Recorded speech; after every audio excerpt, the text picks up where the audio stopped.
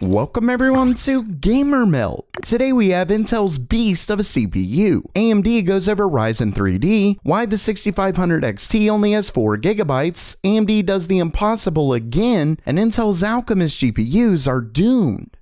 Okay, it's news time, and first up for today, Intel's new i3 12100F looks to be the fastest 4-core CPU ever. In fact, according to overclocker Lucky Noob, who tested the chip at stock clocks, the CPU beats a Ryzen 5300G that's overclocked with liquid nitrogen on Y-Cruncher by 18%. Not only that, but it gets similar performance to the 3100 clocked at 5.6 GHz on liquid nitrogen in Cinebench. Remember, the 12100F is its stock clocks here. Basically, if you're looking for a great budget 4-core CPU, the 12100F could be your best bet. Of course, I know the motherboards are pretty pricey right now, but remember that the B660 along with lower end boards are set to come soon. Motherboard makers were showing them off at CES, and I believe they're technically released already, but I know there aren't really any in the US. Either way, once they do fully come out, Intel will have some great parts for more budget builds, minus the GPU. But before I get to that, start off 2022 the right way by protecting your data, and there's no better way than with today's sponsor. Atlas VPN, one of the least expensive VPN services that not only has everything you need, but offers even more. Sure, they hide your IP and encrypt your data, but they also work across all of your devices with unlimited simultaneous connections. They also help block malicious links before your data can be compromised. And with 500 plus servers across the world and 4 million current users, you know that you're getting a great service. They even have a free data breach monitoring tool to see whether your personal details have ever been leaked. And they do all of that with a 30 day money back guarantee. So don't wait because they've partnered with me to bring you 86% off the price for three years, along with three free months. Just visit the link in the description below.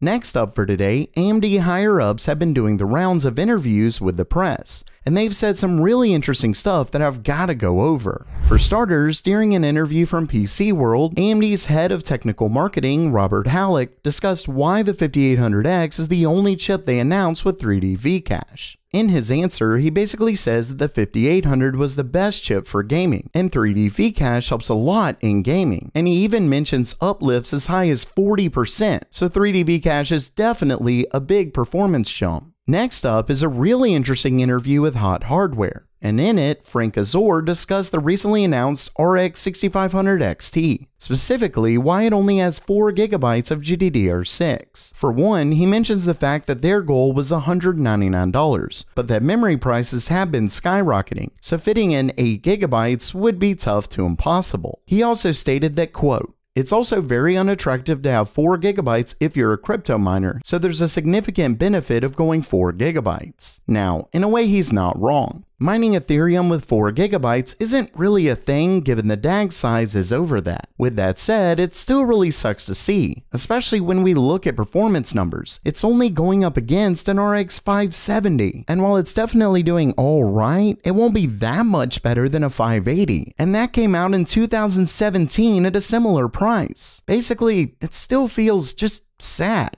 I mean, don't get me wrong, RX 580s are going for hundreds of dollars right now, so 199 isn't all that bad. Unfortunately, according to a news story from the French site Cowcotland, it's going to cost 299 euros over there. So once again, MSRP seems to mean nothing.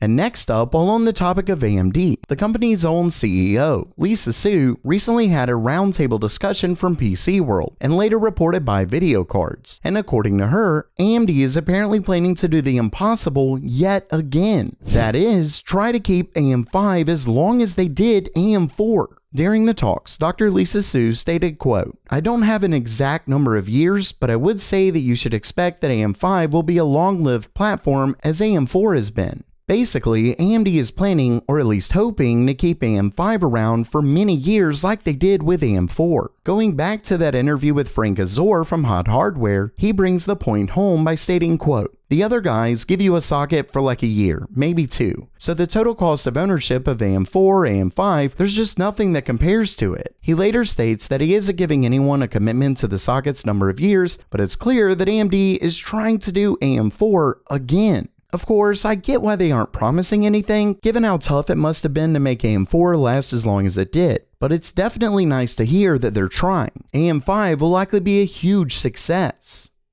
And lastly for today, I recently made some predictions based on Intel's CES event, and it looks like I was spot on. In my last video, I went over the fact that Intel showed a laptop and desktop with Q1 for their Arc GPUs back in December. Yet at CES, they only displayed a laptop and even said this. Shipping Intel Arc to leading mobile OEMs. Then the fact that they never mentioned desktop GPUs other than OEM only parts, didn't make any announcements, it just felt off. Well, VideoCardz recently posted something that shows we should be worried. Just last month, the official Intel Arc website stated that Intel Arc graphics solutions were coming in Q1 2022. But if you look today, you'll notice that it just says 2022. Of course, that could just be a mistake, but the exact same change was made in another spot, so this is clearly intentional, meaning Intel's desktop GPUs likely aren't coming in the first quarter, and the fact that they don't even say Q2 could mean Intel doesn't even know.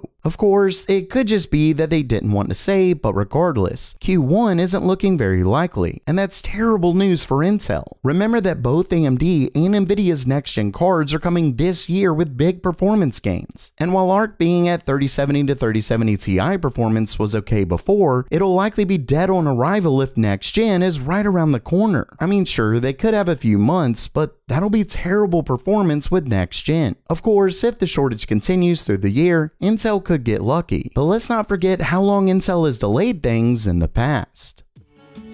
So while that does it for today, are you worried about Intel or are you just excited for AMD's AM5 platform? Let me know down in the comments below. And if you liked the video, please subscribe. And as always, have a great day.